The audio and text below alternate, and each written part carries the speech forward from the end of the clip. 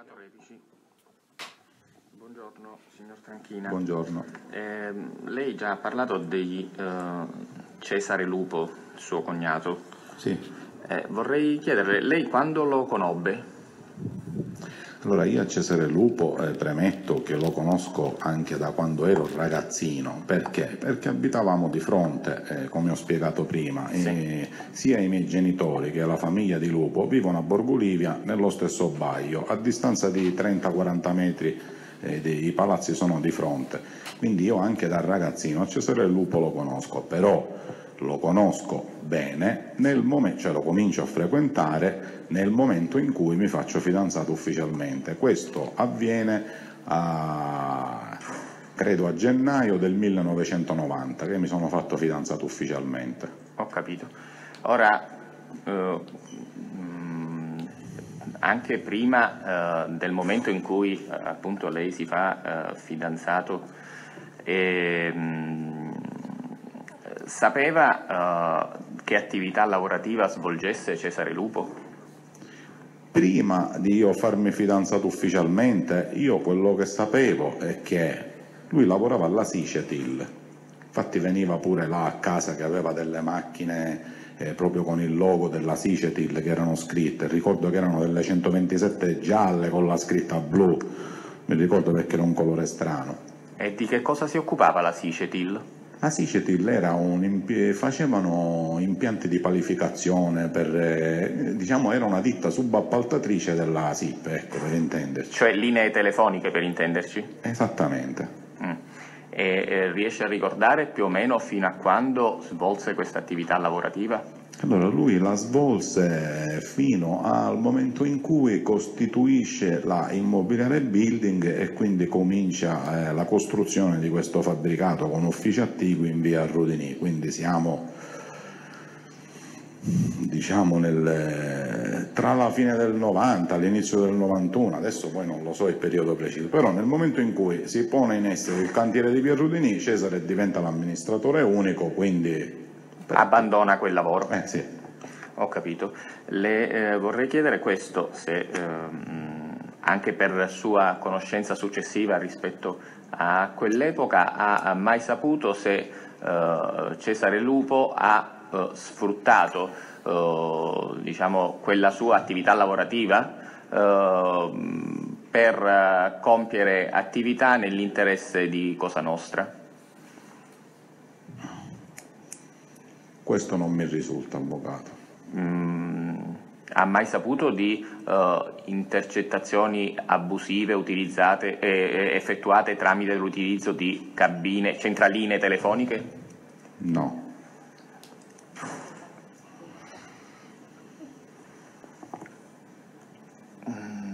Eh, Seppe eh, mm, quali fossero stati i canali dell'assunzione di suo cognato a- alla Sicetil? Io non ne sono sicuro, però credo che la- il canale sia stato tramite il papà di Cesare Lupo, quindi mio suocero, che come ai tempi era sindacalista. E quindi credo che forse magari eh, sia un rapporto di questo genere. Però, avvocato, non posso darle la No, certezza. Per carità, Questo è quello che io mm, mi sembra di ricordare. va bene. Eh, senta, mm, a proposito di quel che le è stato richiesto anche eh, poco fa, eh, della eh, domanda eh, che lei fece a Giuseppe Graviano vedendo le immagini del dottor Falcone in tv, lei dice era l'inizio del 92, ehm, e l'ha messo in relazione con le eh, armi di cui aveva parlato prima. Sì. Ecco, mh, in relazione a, ehm, all'avvistamento da parte sua di quel mh, cospicuo eh, numero di armi, vorrei chiederle questo, insieme a quelle armi c'erano anche, c'era anche materiale esplosivo o erano solo armi? Non ho notato materiale esplosivo, ho notato delle armi, fucili, pistole, giubbotti antiproiettili, queste cose ho notato. Sì. Eh, ora, eh, poco fa lei eh, ha detto io uh, vedendo quello che ho visto, ho, ho, mi sono fatto un'idea. Ha detto anche capisco dove dovevano andare. Ho capito bene?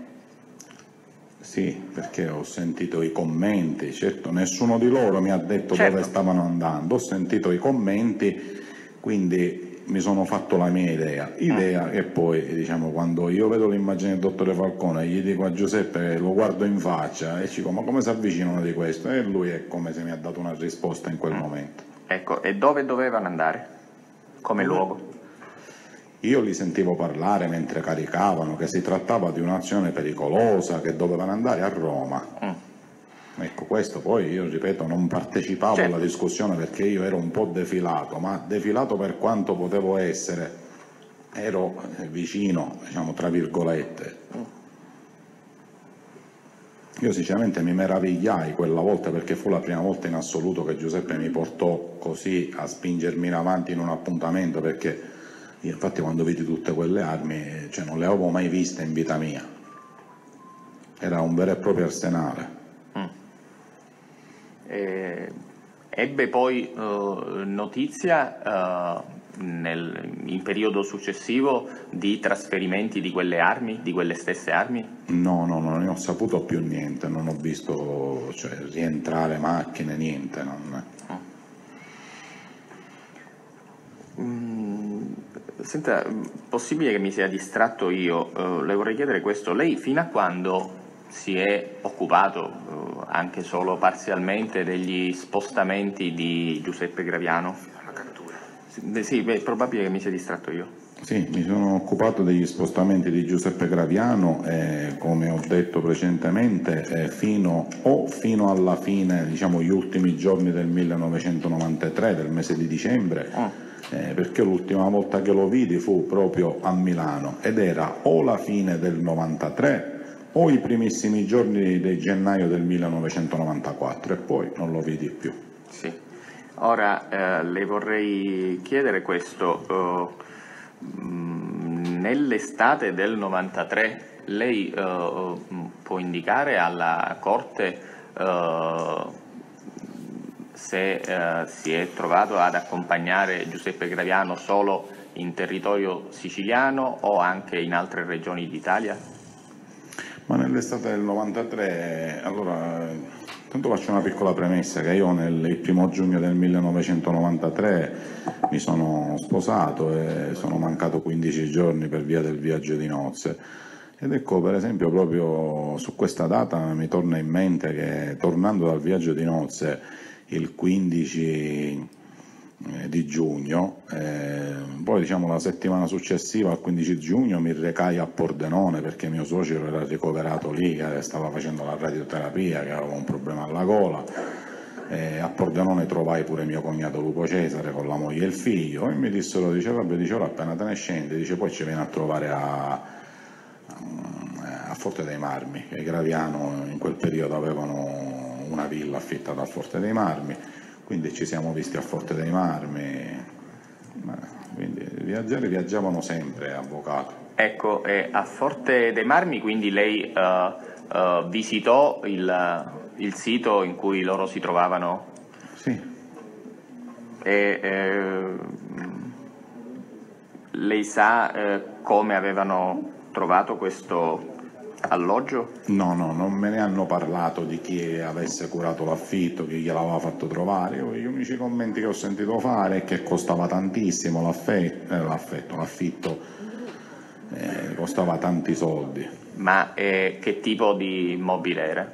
Era una villa abbastanza grande, io non ho un ricordo ben chiaro, però mi ricordo che si entrava, sulla destra eh, c'era modo di accedere a, de, a, dei piani che stavano diciamo, a livello inferiore rispetto al livello stradale, nel senso che si scendeva giù, poi invece si tirava avanti, di, alle spalle c'era un giardino tutto ben curato, poi c'era una veranda grande, era una bella villa, avvocato, mm. bella, eh, solo che io non ho ricordi chiari, diciamo, nitidi.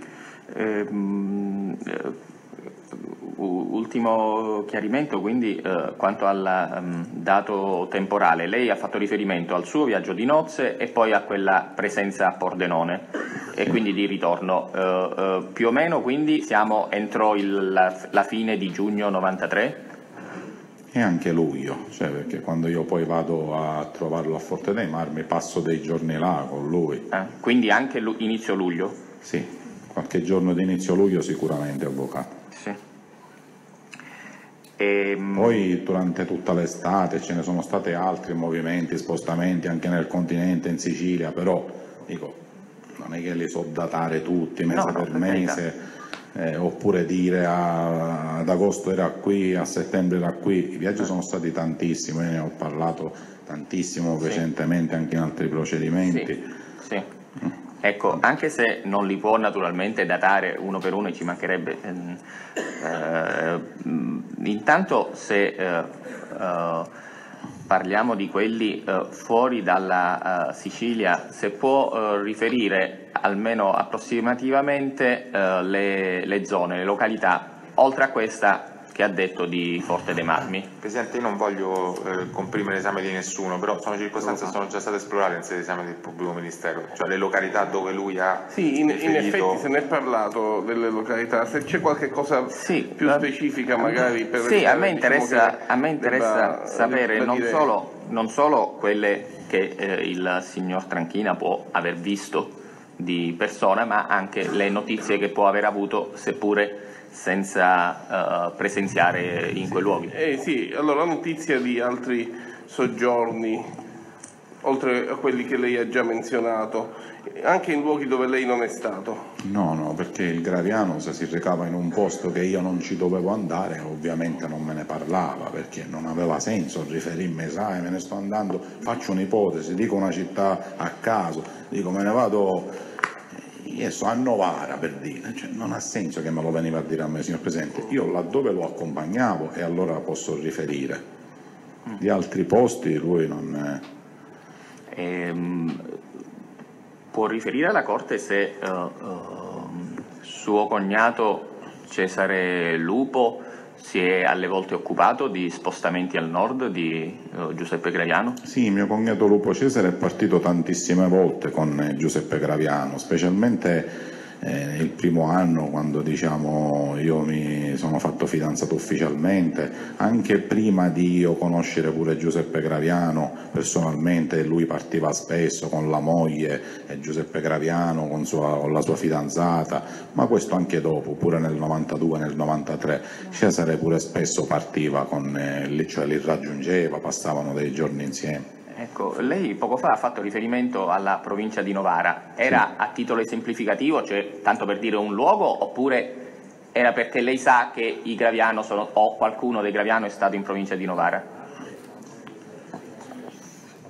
Ha detto che era un esempio oh, di fantasia. No, eh, Presidente, eh, io ho, altre, ho altri, altri ragguagli eh, e preferirei che non si facessero commenti fuori campo eh, da parte di altri difensori alle domande prima della no, risposta. No, però noi avevamo pure inteso Presidente, che è un'opposizione formale di un esempio già diciamo, senza riferimento a dati reali, però può anche darsi che invece ci sia una diversa interpretazione possibile, quindi si può chiarire questo punto magari. Sì, io ho detto Novara tanto per dire il nome di una città, però giusto Novara e Omegna, eh, quella allora, zona, i Graviano avevano impiantato una gelateria, dico. Benissimo, può, sì. può riferire questa gelateria di Omegna, provincia di Novara, da chi era materialmente gestita? C'è opposizione opposizione, Presidente, ha già risposto ieri su domanda del pubblico ministero. Eh, comunque, se lo vuole ribadire un attimo per... Salvatore per Baiardo. Sì. sì. Comunque in effetti se ne è parlato di questa eh, persona. Ehm, va bene, ora vorrei chiederle questo. Um, lei ha...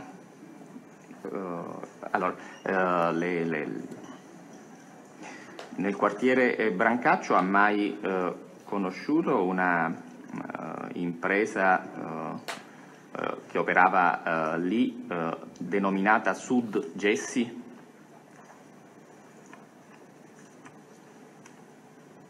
Il nome non me lo ricordo. Cioè non le dice niente, questo è il senso? In questo momento non, Sud mm. Gessi non... Un commercialista dal cognome Lima Neanche.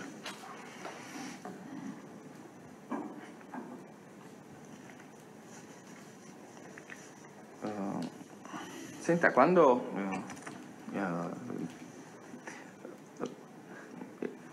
rispetto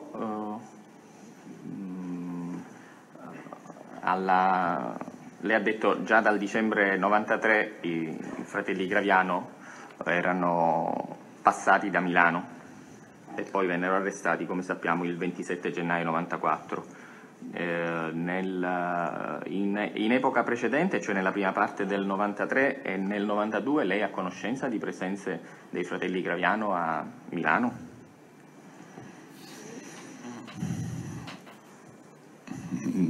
Cioè io non ripeto le date, non le posso, però lui a Milano di certo non c'è stato solo quella volta quando l'hanno arrestato, precedentemente c'era stato sempre e quando io dico precedentemente avvocato ovviamente mi riferisco agli anni 92-93 perché fondamentalmente sono stati questi due anni che io ho conosciuto il Graviano, che l'ho conosciuto a maggio del 91, a dicembre del 94 l'hanno arrestato, tutto qui, quindi i viaggi non è che sono stati fatti in un anno solo. Mm.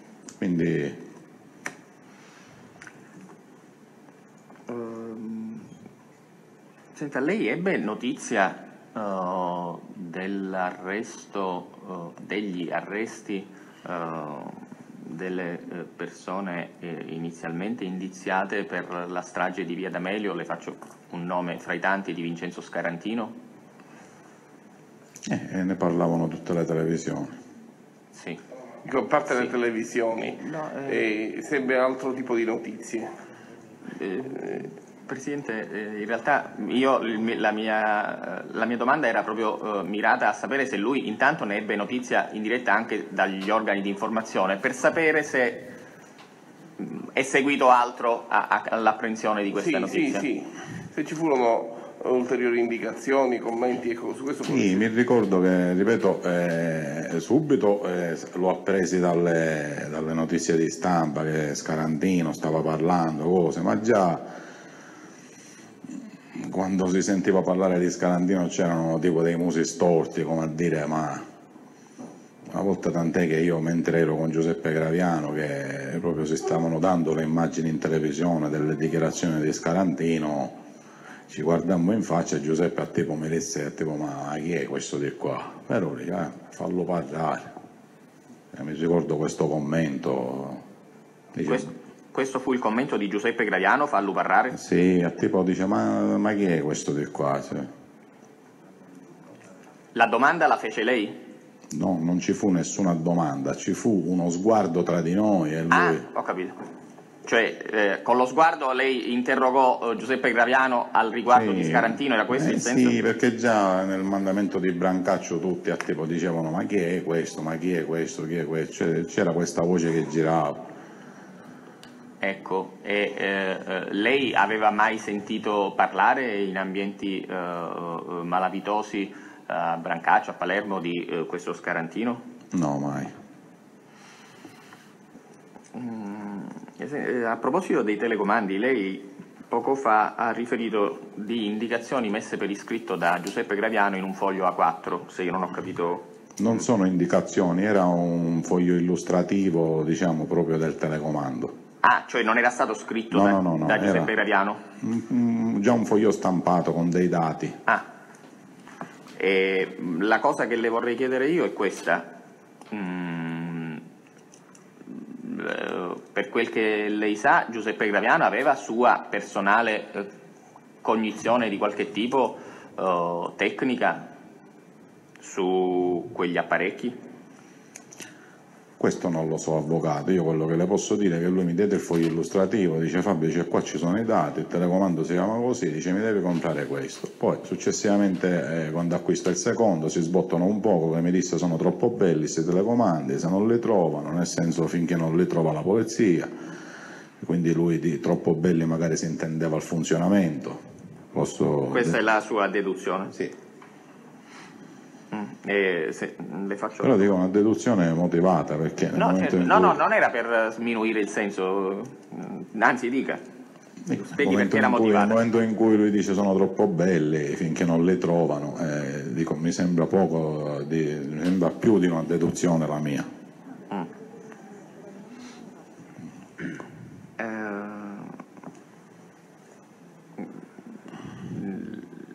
lei uh, non ha contezza di, uh, della provenienza di quel foglio che le venne dato da Graviano? No, no, a me lo diede lui.